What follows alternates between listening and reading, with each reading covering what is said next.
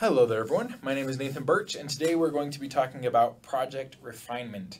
As you are finishing up your first project of the semester, it's important to know when a project is done, if we can ever really say that, um, and what are some things that we can do anytime we're in the process of finishing up a project.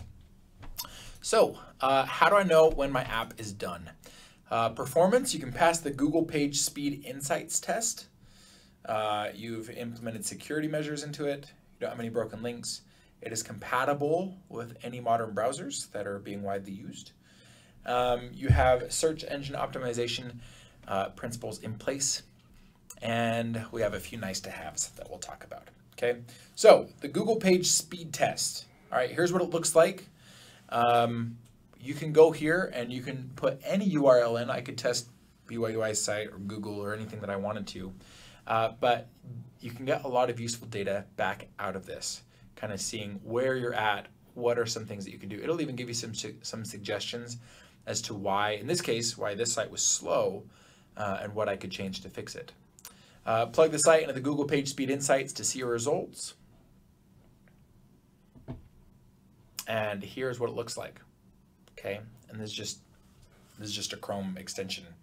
Okay, and there are a bunch of these that you can use. I'm not saying that this one's better than any of the other ones, um, but any tool like this will be great, okay? Because it'll give you some good insights as to you know how your site's doing. Uh, if the site requires login credentials, log into the site first and check the performance uh, with this extension.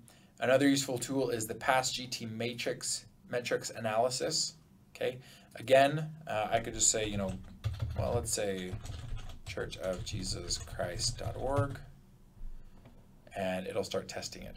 That'll take a little while. We can come back here in a sec. All right, so uh, we just talked about performance. Now let's talk about security. Use HTTPS only. HTTP should always redirect to HTTPS.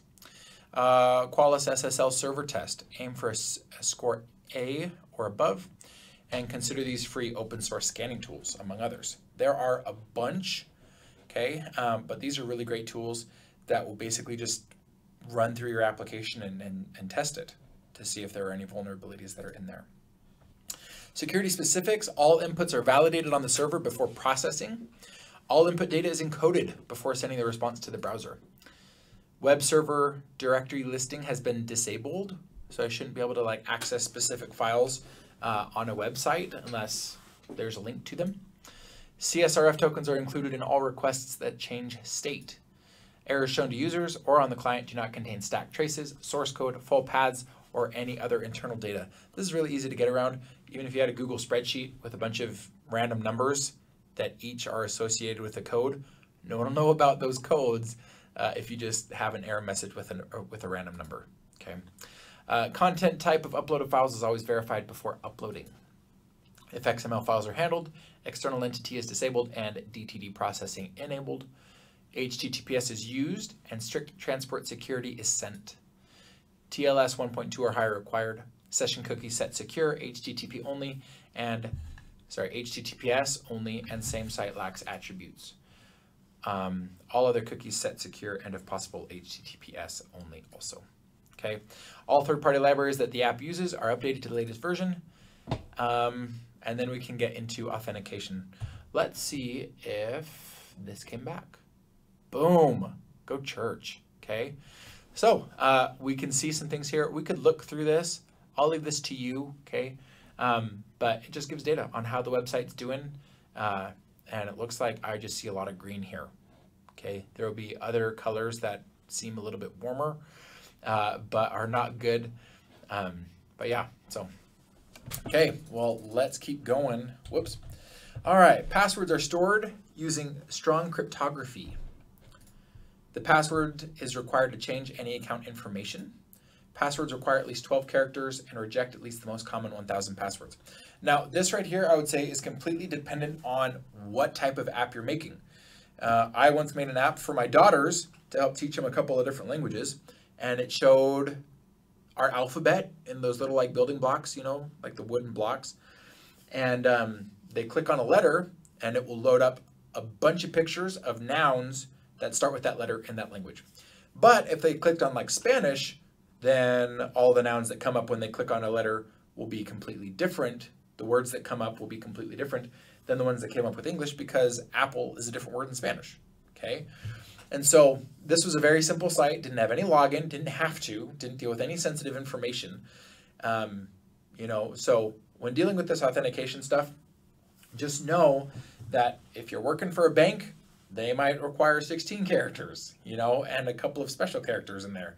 And if you're working with, you know, something else that isn't nearly as sensitive, they might only require eight characters. Okay, and they might not even check for the thousand most common passwords. So a lot of that, obviously we want our sites to be secure, but um, depending on the type of site you're making, um, yeah, just keep that in mind. Uh, multi-factor authentication is supported. Same thing. I didn't need multi-factor authentication for my app, uh, for my kids, uh, but anything that deals with sensitive, with personal sensitive information should have multi-factor authentication.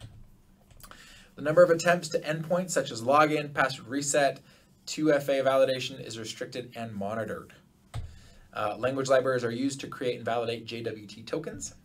When a user logs out or when a session expires, the session on the server is destroyed and JWT tokens associated with it are invalidated. Password reset token is destroyed after use or after expiration. Uh, broken links. Okay, so with security. Broken links. Uh, check that all pages get no broken links on monkey test. Let me just show you guys what this one looks like. Uh, I'm just going to copy that. Um, oh, there it is. Okay. So I can paste that here, run free test, and we will let that run for a sec. Okay. Uh, check that all pages get no invalid links on Screaming Frog. Uh, the link for this one is right here. Okay, and I can test things here as well. Uh, compatibility. Check compatibility with major desktop browsers and their versions. Okay, so 99% uh, of the apps that you will ever make should be fully compatible on all of these browsers, along with other ones. Uh, check mobile browsers too. We should always do testing on mobile and semi-mobile devices like tablets. Also check how Safari and Chrome perform on various screen sizes. Uh, SEO social media. Uh, is it fetched correctly by Google? Okay, check with Google Webmaster Tools. Let's see if Screaming Frog, oh, wrong one. Okay, so here's what this looks like. We have all the JavaScript download events, on-click events, broken links, zero, looking good. Okay, and it shows kind of all the data that they went through to get that information. So, okay, uh, right here, how to get your website on Google search. With Google, there is a, a, a little bit of a price. You know, there are some SEO principles that you can implement uh, without ever paying a dime. Um, but to get it on that first page, I'm pretty sure nowadays you always have to pay. Uh, is it uh, in the first page of Google search results pages? Does it contain correct open graph tags for social sharing? Test by dropping the link into Facebook, Twitter, Pinterest to see what image, title, and description is generated. Does the site or app have the correct title, meta description tag? Does it have a favicon? Okay. Uh, nice to haves. All this is here.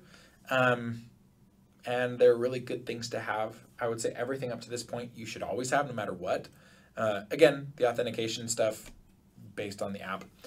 Um, but these are all really nice things to have. Okay. All right.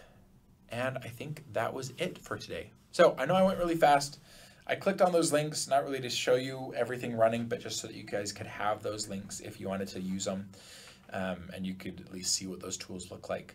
Um, like I said, there are a lot of these tools out there to help you with security, testing broken links, testing usability, testing performance, um, and it's awesome. So, uh, but yeah, hopefully this was helpful. Enjoy finishing up your product projects, and I hope you have a great week.